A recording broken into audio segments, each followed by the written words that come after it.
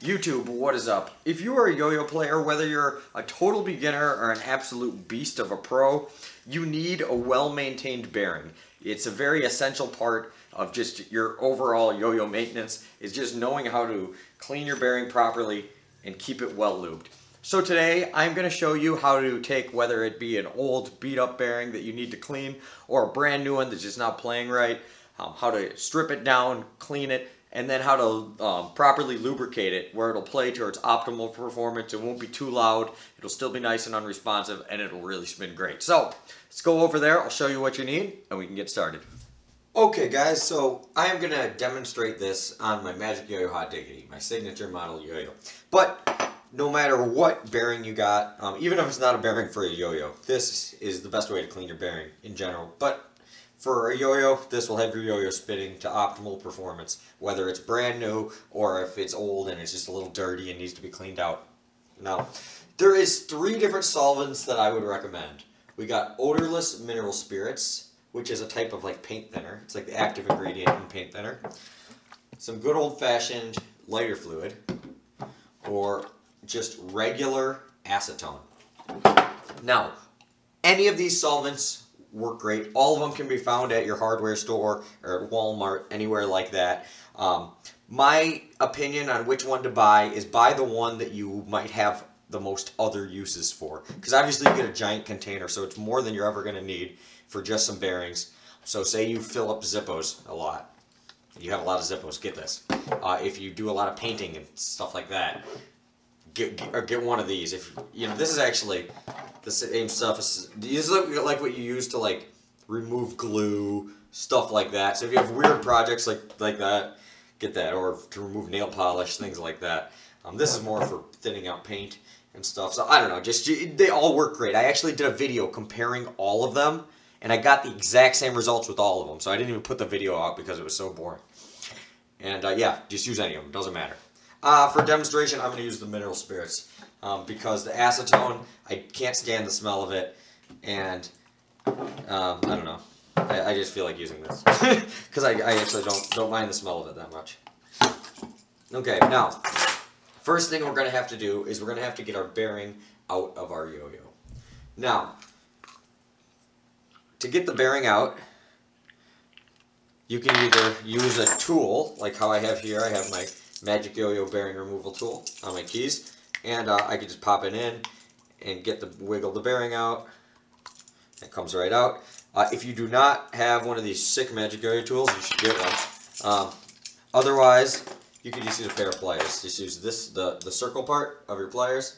Um, and actually, a lot of needle nose pliers actually have a like a semicircle cut part in them. You could use that too. But same thing, you just grab it, and you when you go to get it out, you just wiggle it back and forth. And you don't don't squeeze too tight. You don't want to break the bearing, but you, don't got to be too shy either. Now these bearings, let me focus in on here. Now this bearing has a shield on it. Now you can get bearings with shields on them like this, or you could actually sometimes your bearing might come without a shield, like that.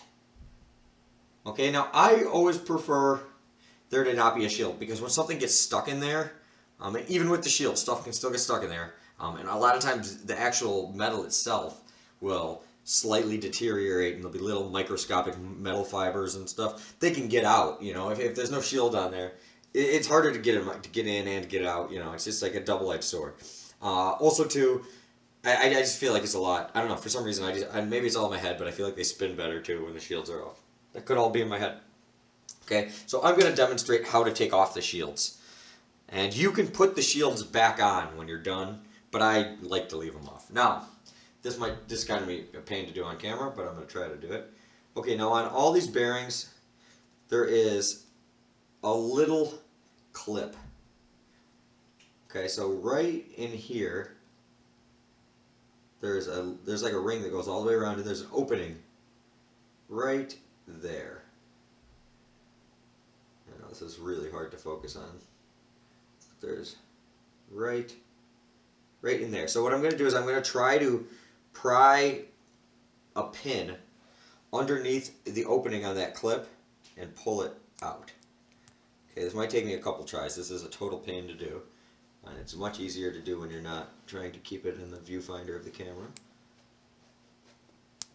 Okay, so it's being finicky. You could also use an X-Acto knife for this, but I prefer a pin because if you slip, I'd rather poke myself with a pin than stab myself with a knife. Uh, that's just that's just my opinion, though. I almost got it. See, these things can be a little jerk sometimes. Oh, come on.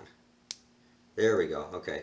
See, and once you get this little clip off, that's what holds the shield on there. So you take that little piece off, then that shield will just fall off and exposing the bearings. All right, I'm going to do the other one. I'm going to do this real fast here on the table because I'll be able to do it easier. Um, I think.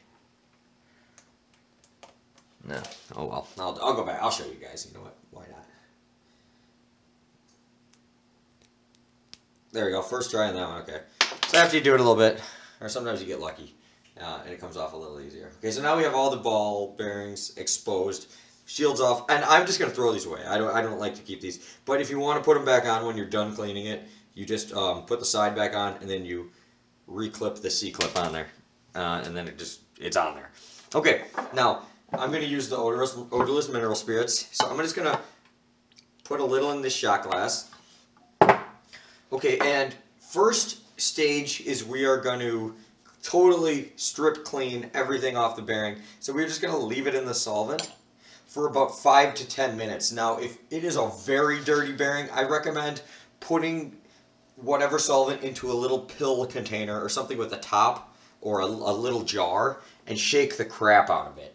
But this is this one isn't very bad. This is a you know lightly used bearing and it, it doesn't have a lot of gunk in it. So I'm just going to let it sit in here for five minutes and we will be right back. But if it's a little more dirty, you know, maybe do a little longer um, or just do, shake the crap out of it. But we're going to leave it for five minutes and I will be right back. Alright guys, so it's been sitting in here for a good five minutes, so now I'm to take the bearing out. Okay, now check this out. This is a little, a little pro tip here. You want to take a pencil and you are to just jam it jam it on there so it's stuck on there. And you can spin it dry just by hand, or you can do this. This does it for you in seconds. Take a can of dust off and spray the bearing. And it gets it just spinning crazy fast. And uh, instantly dries it off. And you can kind of break a bearing in really fast doing. Look at that.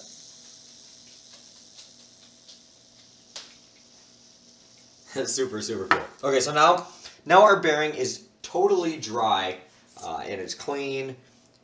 Um, it's spinning perfect, but we need to put some type of thin lube on there. But we don't want to have the lube thick enough where it's going to slow down the bearing, but we need to have some type of lubricant on there so it prevents the bearing from corroding. Um, these things spin incredibly fast, and it's metal on metal when there's no lube. They will heat up, and over time it'll destroy your bearing if there's no lubricant at all on them. Otherwise, you end up cleaning them all the time. So what we are going to do now is we are going to make a thin lubricant that will work as a cleaner now to maintain your bearing. So like once, unless your bearing is really bad, you don't really have to do this. You can kind of just add your thin lube. Um, so what we are going to do is, I am going to use the same solvent, um, but then we are the lubricant we are going to use is this 3-in-1 oil. Now this is this is by far my favorite stuff. You can use um, like baby oil or sewing machine oil I've used in the past, and I had good results, but this stuff uh, is by far my favorite, and you can get it anywhere. Any hardware store, any regular store has this. So what I'm going to do is I am going to use this, but I'm going to dilute it with my solvent, the same solvent I used um, for the bearing. Okay, so what I'm going to do is I'm just going to put a little bit in there. Like, see I have this shot glass here. And uh, just, you know, I'd say that's about a tablespoon of, of uh, lubricant. Okay, then I'm going to take this and really, really dilute it out. Okay, so I probably went about four parts. Well, actually, there's measuring things on here. So I had it at, it was at the one teaspoon line. Now it's just over four teaspoons. So yeah, like four parts solvent is what I did to one part um, non-solvent. I'm just gonna I'm just gonna use my pencil But you can use anything that's not something you're gonna put in your mouth. You know, no, don't use like a a spoon or something that or a knife that you're gonna put back. You just throw it in the dishwasher. You know, you don't want to do that. These, I'm never gonna use these for anything besides like projects and shit. So, okay. Now, you could put this in a pill jar and use it uh, and store it as your solvent, um, or I mean as your uh, thin lube. But what I'm going to do is I'm going to put it in a little squeeze bottle. This is very similar to if you bought Thin Lube, say the Yo-Yo Factory Thin or back in the day we had Yo-Yo Jam Thin Lube, and they came in this. And this is just an eye drop container that it was empty, so I took the label off of it, and what I'm going to do is I'm going to compress it the most I can, and we are going to dip it in, and just let it suck up some of this lube. Okay, so I got it a little bit, and if I want to put a little more, I, I squeeze it while it's this way, and then I flip it over, put it back in there. I can suck up some more. Okay. Mixing it while I suck it up so it stays nice and mixed. And check it out, I got, just doing it like that, I filled up almost this thing, and I'll, so I'll get the rest in there off camera. Um, but for sake of the video, so now, when I need to just thin lube up a bearing, bada bing, bada boom, I'm all good to go. Um, and now what I want to do with this one is I want to use like a toothpick or a pin, something where I can just get a tiny, tiny bit. You could, I could use the dropper, but this is uh, another way to do it, especially if you don't have one of these and you put it in like a pill jar or something. So I'm just going to take a tiny bit on a toothpick, and I'm just going to drip it actually on the bearings. I'm going to do one on this side too. A little more. Now, I made this really thin for a reason. Okay, now the nicest thing about this is now the bearing won't be quite as loud, but it still will spin really good and it won't it'll be totally unresponsive. So I'm putting it back on the pencil now I'm going to do the same thing. I'm going to spin it dry. Get all the extra lube off of it. Okay, spinning nice and good there. Okay, so now we just throw it in our yo-yo. Throw a string on there and test it out. So I'm going to put this yo-yo back together, throw a string on there, and whoops, my, my axle fell out. Whoop, whoop, got it. um, yeah, let me put this yo-yo back together off camera, grab a string, and I'll show you how it works. Alright guys, so now the yo-yo is nice and nice and unresponsive, uh, but it's also spinning fabulous, and it's really quite quiet too.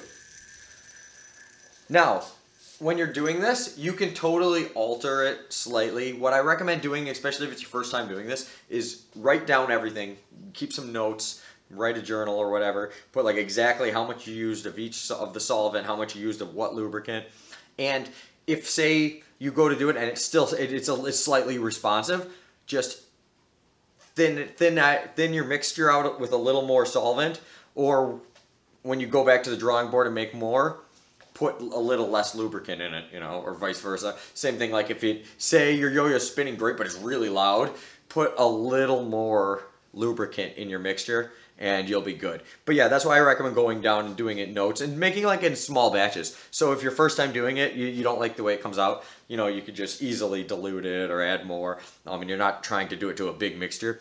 And this is something, once you have your yo-yo maintained, you just add a little bit, like, you know, every time your yo-yo gets a little loud or feels, you know, just add a little bit of lube. You know, it's something, once you do the initial cleaning, unless you get something stuck in there, um, then you don't need to. Oh, and here is a pro tip. If you ever get a piece of hair stuck in your bearing, uh, once you now that you have the shields off, this is a very easy way to get it out. So just hold your bearing with pliers. You can even hold it with your fingers. Uh, if you're a kid, have your parents do this. Take a lighter, go just like for like two seconds, just like that. It won't burn your hand, but it'll singe the hair completely and then re-clean it. So if you have a lot of dog hair at your place or you get a piece of your human hair in there or whatever, yeah, that's pro tip. Super easy. I have dog hair all over my apartment. Happens all the time. Takes two seconds. Go with a lighter, re-clean your bearing, boom, the hair is gone. So thank you guys for watching. Hopefully you liked it. Uh, let me know down below if you uh, if you make your own thin lube, if you clean your own bearings. Uh, if the video helped, what else you want to see, all that good stuff. I'll see you guys later. Remember, you can still get uh, Magic Yo-Yo Hot Diggities at uh, Zipline Strings. I think Yo-Yo Sam has some still too. So, very affordable yo-yo. Uh, yeah, and it's got my name on it. So, you know, why not? See you guys later. Peace.